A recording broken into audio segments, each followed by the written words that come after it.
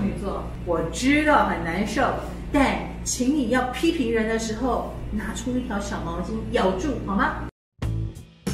处女座女生的美貌在十二星座里面数一数二，很难有桃花这件事也数一数二。处女座到底什么阻断了你的桃花呢？老实说，一个处女座女生如果存心要难搞，别说异性缘了，连同性缘都不太好，因为你很容易从小地方挑别人的刺，或者是也喜欢揪着别人的缺点批评指教。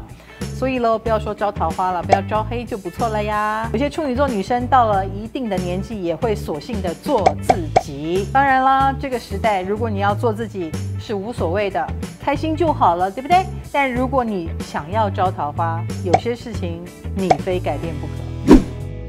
第一项断你桃花的行动，冷言冷语泼冷水。明明你很希望别人把你当公主一样看待，不是吗？那为什么别人送你礼物的时候，你还要一副很冷淡的样子，然后说，哎，干嘛花这个钱？哎呀，买这个有点不太好吧？哎，怎么怎么是白色不是黑色呢？或者你会说谢谢，但是你的表情很僵硬，谢谢。是不是挑人毛病的时候你比较顺利呢？所以喽，你要记得感谢要表现出来。你是女朋友，你不是面试官，你不需要审核评估这个礼物，好吗？第二点就是太实际了。没桃花的时候什么都好，有桃花的时候又挑剔的不得了。其实细数起来，很多处女座都是女神级哦，但是感情上好像都。不足为外人道哦。比如说没桃花的时候，你们的条件就放得很低，我只要找一个能稳定、能依靠的对象就好了。但是，一旦有了对象，这个人很稳定、很顾家啊，你又嫌他怎么老是待在家，怎么不出去外面走一走？为什么事业上没有你努力？不啦不啦不啦。问题就出来了一大堆，也就是说，不管谁在你身边，你都忍不住挑剔东挑剔西。嗨，处女座，你还好吗？有时候太实际也会让你女性荷尔蒙缺乏，比如说你实在太像个大妈了，不管你的外表再少女，性格太大妈，喜欢叮咛东叮咛西，然后总是呃对别人的浪漫面无表情。或甚至会说：“好了，不要这么浪漫了，好吗？很恶心。”那你这样讲，别人怎么能够跟你谈感情下去呢？久而久之，连暧昧都不想跟你暧昧了哟。所以，聪明的处女座，请把你的数学能力用在让自己有女人味上，这样我相信你的魅力就会爆棚，桃花也会爆棚哦。好了，讲了这么多，呃，处女座也不要沮丧，我要为你们平反一下啊。好，各位同学，请好好的。珍惜你身边的处女吧。我认为处女座虽然女人味欠缺，虽然有太务实或绩优生的倾向，但是他们是非常优良的另一半哦。呃，是属于很会为对方着想，而且虽然跟他相处的时候，你会感受到他非常的挑剔，但他其实只要面对外面，他的心都是向着你的。所以，呃，这一点跟处女座交往的人应该就知道了。你只要牺牲一点被他控制的不爽。你就可以换来一个完美的伴侣，多么好的一件事情！处女座是一个越交往越宽容的星座。如果处女会越来越宽容，代表他对你其实是越来越满意。那如果他还不放松，那就表示他觉得你身上还有很多他可以挑剔的地方。你自己看着办。我知道很难受，但请你要批评人的时候，拿出一条小毛巾咬住好吗？忍住你批评他的冲动。此时无声胜有声。不说比说出来要好很多。我相信这样一次、两次、三次之后，你的异性缘就会回温许多。第二，请把你藏在抽屉里的香水拿出来用，还有蒙尘的保养品也拿出来用，好吗？不能只有买，买而不用是不算数的。所以要好好的培养或塑造你的女人味。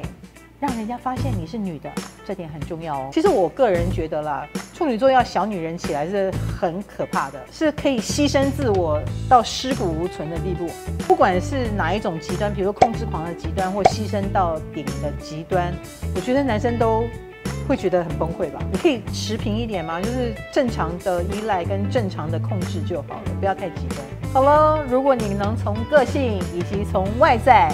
来慢慢的改进，然后让自己多增添一点女人味，才能够吸引别人看到你的内在嘛。处女座，请加油哦！有有人吃过处女男的亏吗？没有。如果有的话，通常反应都会很大哦。就是，哎，你觉得处女男怎么样？渣。来说到处女男，我们就会想到处女座的什么特色呢？黑毛、完美主义、洁癖、唠叨，我们就来了解看看喽。和处女座暧昧，太多太少都不行。如果太多，让他侦测到了，呃，你好像很喜欢我。注意，这对一个好奇心很旺盛的人来说，你就失去了被他探索的本钱了，因为他们是很傲娇的哦。如果你对他那么的感兴趣，那就是换你来探索他了。所以某种程度呢，你稍微有一点高冷，或者是对他表现出来的是有点满意又没有那么满意，这种介于中间的事情，如果你拿捏得好，当然。他就会增加了对你的好奇心，因为在处女男的心目当中，虽然他们非常的傲娇，但是某种程度他们也有谦卑的特质，因为他们会警告自己不能太骄傲，或不能把骄傲露出来。所以喽，你对他的喜欢也最好不要露太多。那为什么也不能表现太少呢？因为其实处女座非常需要鼓励。我们刚刚讲了，他只是表现出不骄傲的样子，但其实心里他们觉得自己蛮好的，他自己很聪明啊，他也很努力啊，多么希望你发现啊！所以如果你能够适时的给他一些赞美鼓励，那他就会觉得，哎，你懂我。好好好，这个好，他们还蛮需要观众的。但重点是，处女男到底喜不喜欢你呢？牺牲休息时间来陪你。你要知道哦，对处女座来说，时间是很宝贵的，他有很多的事情要做。所以，如果他愿意把宝贵的时间用在你的身上，呃，甚至于就是呃休息的时候，哎，他也很愿意陪你上山下海，安排很多跟你在一起的时光。那二话不说，他真的很重视你哦。第二，如果还没有在一起，只是做朋友，他就对你的人生观、价值观、婚姻观、观念、想法很有兴趣。这表示他们已经在跟你进行高傲的、傲娇的，他很重视的精神层面，而精神层面的契合对他们来说是非常重要的。所以，如果这方面他觉得，嗯哼，你跟我蛮同类型的，以后我就不用再花时间教育你的话，嗯，你上升指数又更高了。第三，他愿不愿意跟你描摹梦想呢？如果他很喜欢你，他一定会很想把好东西都告诉你。比如说，我曾经去过一个地方，风景很美哦，下次带你去。如果他要跟你说，啊，有一个东西好好吃，我带你去吃。像这种想把好东西分享给你，那表示他真的很在意你了，在别人面前很稳重，在你面前很孩子气，这也是他对你安心的一个表现哦。因为其实处女座，我刚刚说了，自尊心很高，他非常希望在别人心目中就是个万事通。可是他居然愿意在你面前展露无能的一面，那就代表他真的愿意跟你走长远，或者是已经在被你收服的路上了。处女男有点害羞，这一点可能会让你们暧昧过久，实在无法突破的话呢，可能处女男也会着急哦。说不定就会故意弄一个让你吃醋的事件，好逼你乖乖告白，让你们的关系确定。关于处女男的害羞呢，我觉得是要好好分辨的哟。好啦，有一种是真的很害羞哈，那这种害羞的人，他还是很有好奇心，那他的好奇心可能对人或对事。那可是有一种呢，我就不觉得他是真害羞了，我觉得他是害羞的表面下包装着闷骚的心。那这一种类型呢，呃，外表可能还是貌似忠良了，但是可能眼神就会不定期的可能飘来飘去，可能也是我们觉得有点危险、有点花心的类型。一个处女座一旦他有花心的倾向，那可能跟他有没有伴侣是没有关系的。因此，你再喜欢一个处女男，也要仔细分辨他是真害羞还是假害羞喽。处女座呢，他是非常喜欢说话的，他也非常爱表达意见，表达的刚刚好，你会觉得蛮崇拜他的，因为发现他心思真的好细腻哦，或观察很入微。可是如果过多，那就变成一个干扰。处女座是一个不练习把自己的人生观、价值观啪啦啪啦表现出来的人啊。所以也许在沟通或交谈的过程会让你有点生气。换手机，那别人可能问你多少钱啊？多少钱就结束了这个话题，但是他们就会碎碎念说，这不是很浪费吗？那你是看上它什么？那你颜色怎么样啊？那功能又如何？哎，有时候就是会有点泼冷水跟很扫兴。不过这一切都是爱能够解决的，不是吗？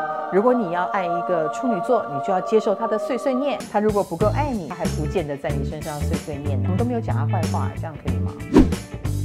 当然，我知道有非常多受过处女男伤害的女生，然后绝对觉得他们是渣中之渣，哈，是渣到第一名。那我就要提醒了，我觉得这也跟处女座男生他不不演有关系，哈，他不愿意演。当他他发现被你发现他很渣，然后他也发现他自己改不过来，那么他们就会索性以及豁出去，而且。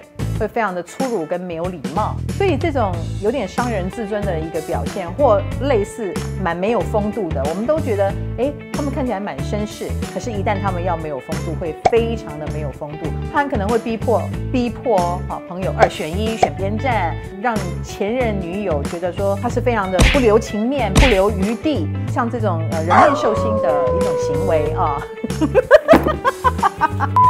所以像这种行为，可能就会让人家觉得，怎么跟外表反差这么大？他们这么渣也是蛮好的，会让你跟他划清界限，也不会再想哥哥弟。最后呢，我要提醒大家，不要投入的太快，让他尽量想在你身上学习探索。祝你跟处女男恋爱顺利了。